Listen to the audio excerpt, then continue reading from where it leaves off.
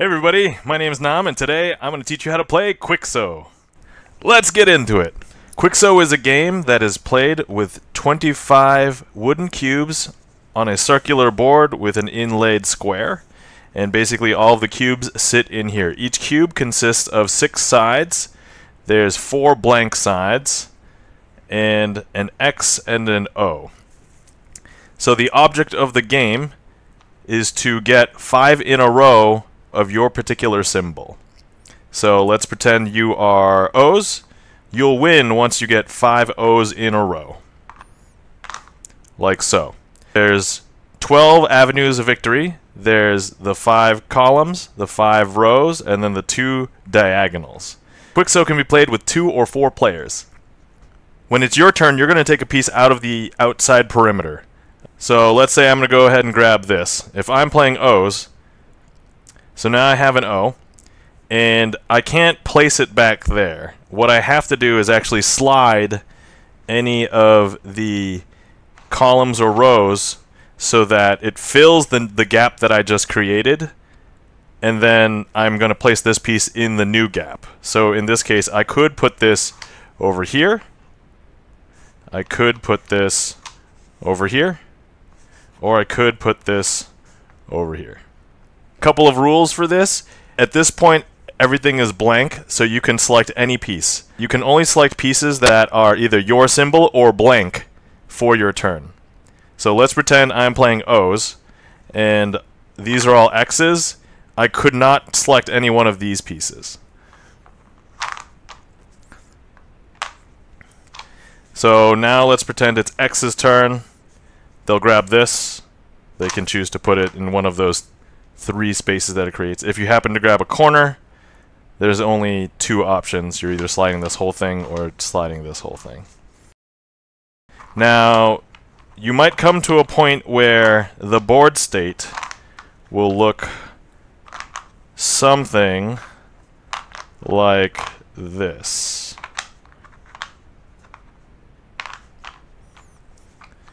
And when it's your turn, let's pretend it's uh, O's turn. So O has to choose one that's on the outer perimeter, but it cannot choose an X. So O would have to choose one of these to move. Let's say this. And then O could slide this way, that way, or that way. Once one player gets five in a row, that player wins. It is defined in the rules that if you were to slide your opponent into a win the same turn that you would slide into a win, for example, in a situation like this, let's pretend it's O's turn.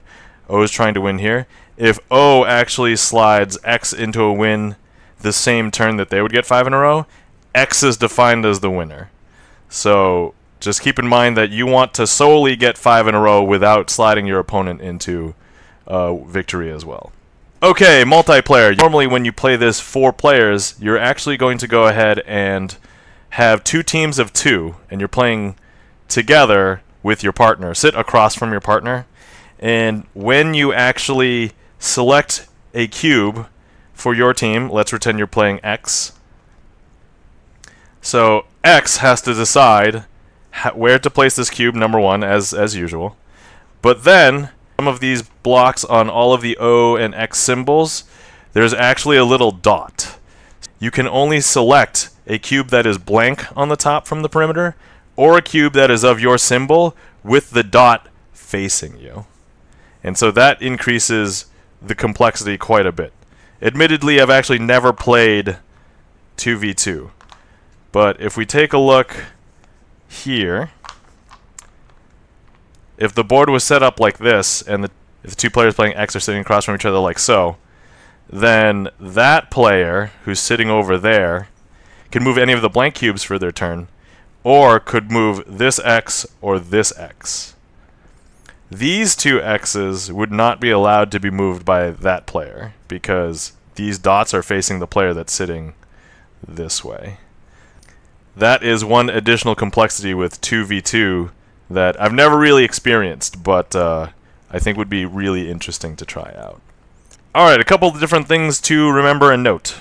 The only immediate thing you typically ever have to worry about is when they already have four in a row in a column or a row or they're diagonal And that's when you have to worry. This is when you'd want to do some sort of disrupting move, which breaks up the 4. Because if we take a look, if it's X's turn, X would actually just win by doing something like this to shove that into place and line up this five, these five. However, let's assume it's O's turn. What can O do? Well, O could actually disrupt this line of four by grabbing one from this side and sliding like so. Similarly, they could do something like this as well. It would also disrupt the four. Now, something that you can't do is remember that you can slide in either direction so let's pretend O thought, oh hey, this would solve the problem, but it actually doesn't because it actually slides a similar X into the place in which you're sliding out the X that you thought you would be. So you have to remember that as well. There's also blocking strategies that you can do. For example, let's pretend the board looked like this. One of the things that you can do is try and take control of two opposite sides of the crucial row or column that you need to take. O could solidify control of this by putting an O here. And so, for example, and slide it this way. So now if you take a look, X can't actually push this way, and O has control of both sides. So it's actually going to take X at least two turns to be able to move this, because X would have to do something, something like this. Slide an X into place, and then do something to move this later. So a lot of the moves that you end up doing to block and control, if you can make your opponent spend more than one move to undo your one move, it's already cost effective for you. As the board gets more messy, then it's going to become more difficult to determine what the actual uh, lines of victory are because you'll have maybe two or three, maybe even four lined up four four in a row, or threats of four in a row. And uh, a lot of the times people will tend to miss the diagonal ones, so definitely keep those in mind as well. I'm very guilty of missing five in a row with the diagonal wins. And that's how you play Quixo. Alright, we've got a couple sample games. Let's go take a look. Alright, game one. Here we go. Okay, so X makes a play to get into the corner. O gets in the opposing, not opposing corner, but like a adjacent corner. All right, X just goes in. O goes in. Man, it's really hard to commentate this. All right, so X is trying to make a direct win uh, line just on one edge, but uh, then O changes it up to disrupt, and now it's going to get all jumbled. Okay, we've got our second piece just pushing to the center nine. And we've got three pieces covered in the center nine. Now we have an entire edge covered. Wow, this game's going a lot faster than some of the other games, so I'm going to have to actually just talk about general things. Maybe even pause some video. All right, so as of right now, there's nothing that's four in a row uh, except for that. So X just got four in a row on the top edge. And O wisely disrupts.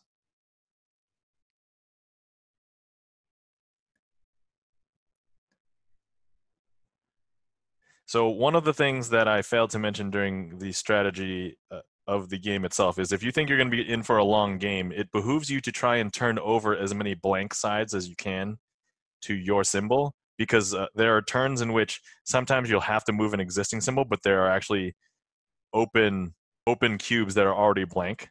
So you might actually need to populate more of the board so that at least you have a fighting chance. Because if you spend too many turns moving symbols that are already your symbol and your opponent is actually turning over more of theirs, then you'll be at a disadvantage going to the mid to late game. Okay, so it looks like O tries to do something here, but fails to see that X has an avenue of winning right there. All right, here we go.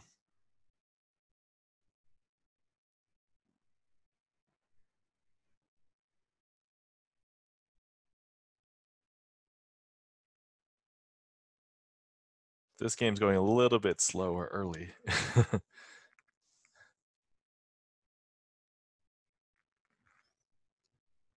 okay, X making an obvious gun for the left edge. O is not going to have it though.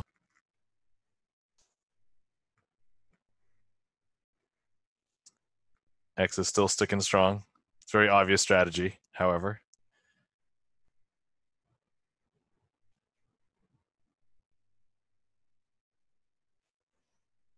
X trying to reassert.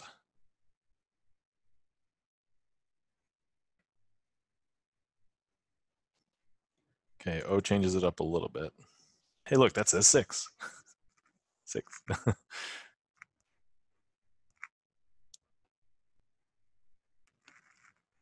okay, X changes the strategy, pivoting from one edge to another edge to try and gun for victory there.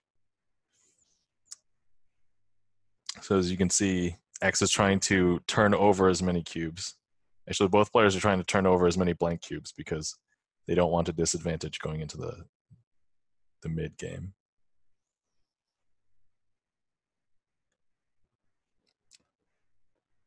Sometimes it behooves you to count the number of blank pieces left in a column or row because if you and your opponent decide to repeat trying to do the same thing, it will maybe give you an advantage um, to depending on knowing if you're going to be last or second last and so you might want to alter your strategy at that point.